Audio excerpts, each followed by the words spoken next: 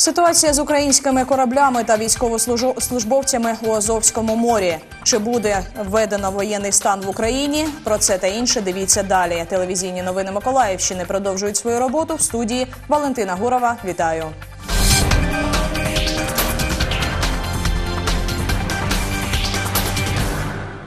Чи буде введено в Україні воєнний стан? Верховна Рада вирішить сьогодні о 16-й. На терміновому засіданні члени Ради безпеки і оборони проголосували запропонувати президенту України ввести військовий стан на 60 днів. Петро Порошенко підтримав. Росія вдалась до агресивних дій по відношенню до України у нейтральних водах. Військові сусідньої держави стріляли по українських кораблях, коли ті виходили з Керченської протоки. У мережі інтернет з'явилось відео тарану російським прикордонним кораблем Дон нашого рейдового буксира Яни Капу при намаганні перетнути Керченську протоку та зайти в Азовське море. Давай, давай, блядь. Лево перед 5, лево 10, стоп машина, стоп машина, Есть лево стопе. лево на борт, А с каким? Рулево на блок. Назад! Назад! Назад! Даю назад!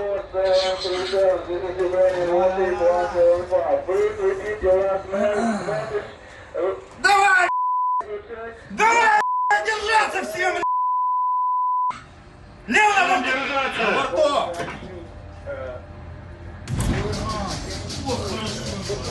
Йоу! На борт, На борту. Восемь двадцать один. лево на борт. На борту. Лево. Два судна захоплені, ще одне заблоковане. Повідомив речник військово-морських сил України Олег Чалик. За оперативною інформацією захоплено МБАК Бердянськ і РБК Яникапу, які буксуються. МБАК Нікополь заблокований та слідує у супроводі окупантів. Е, Катер не ушкоджено. Наразі є інформація про шість українських військовослужбовців, які зазнали поранення. Це е, метод дій 2014 року, коли вони блокували наші кораблі е, в Донузлаві. Поставили паралельно танкер, поставили плавучий кран.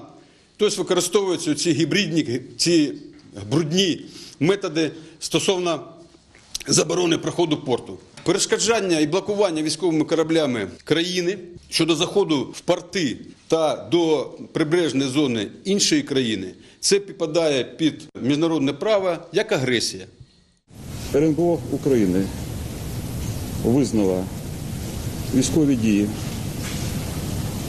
російських вояків проти кораблів військово-морських сил України актом агресії проти нашої держави. І Рада національної безпеки і оборони внесла пропозицію президенту оголосити правовий режим воєнного стану на 60 днів. Президент України Петро Порошенко звернувся до керівництва Російської Федерації. Я звертаюся до керівництва Російської Федерації з вимогою негайно звільнити українських військовослужбовців, які в порушенні міжнародного права брутально були затримані і доля яких невідома. Ми вимагаємо терміново їх передати українській стороні разом з кораблями і терміново деескала... зробити деескалацію ситуації, яка склалася в Азовському морі. На підставі рішення Ради національної безпеки і оборони України щодо введення е, правового режиму воєнного стану, начальник генерального штабу, головнокомандувач збройних сил України віддав розпорядження щодо проведення з'єднання частин збройних сил України в бойову готовність повна.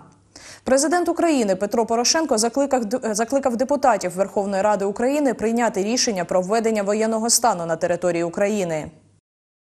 Що таке воєнний стан в Україні визначає закон про правовий режим воєнного стану. Ухвалено його в червні 2000-го за президентства Леоніда Кучми зі змінами у 2015-му. Запроваджують цей правовий режим у разі військового вторгнення або загрози нападу на Україну. Запровадження режиму воєнного часу передбачає наділення військових підрозділів держави надзвичайними повноваженнями. На життя громадян це впливає так: може бути запроваджено комендантську годину як у всій державі, так і в окремих регіонах. Тобто для переміщення людям будуть потрібні документи, у деяких випадках спеціальні перепустки. Працездатні громадяни за необхідності мають працювати на потреби армії чи мобілізуватися до війська, а також віддати військовим своє майно у тимчасове користування під розписку або ж і зовсім. Натомість власник може вимагати у держави компенсації. Крім того, військовики отримують право вилучати техніку, якщо її використання суперечить умовам воєнного стану. Діяльність політичних партій чи громадських організацій заборонено, якщо на думку військових вона може шкодити суверенітету держави. Під заборону потрапляють акції, мітинги і волевиявлення, зокрема референдуми та вибори на всіх рівнях, як от президентські, парламентські та місцеві. Військовики контролюють роботу поліграфічних підприємств, видавництв та телерадіокомпаній. Хто контролюватиме, які саме військові підрозділи? Це генштаб збройних сил України, яким на час надзвичайної ситуації керує президент України і секретар РНБО, командувачі сухопутних військ, військового флоту і повітряних сил, а також об'єднане оперативне командування, командири полків і дивізій, піхоти, артилерії, авіації тощо.